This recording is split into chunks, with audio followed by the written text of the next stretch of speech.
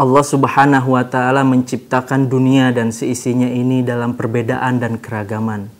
Ada perbedaan bahasa, ada perbedaan warna kulit, ada perbedaan agama, ada perbedaan keyakinan dan perbedaan pendapat. Tapi bagaimana kita menyikapi perbedaan ini? Inilah kita pentingnya kita melakukan toleransi terhadap perbedaan itu sendiri. Wa minhum man la yu'minu bihi wa.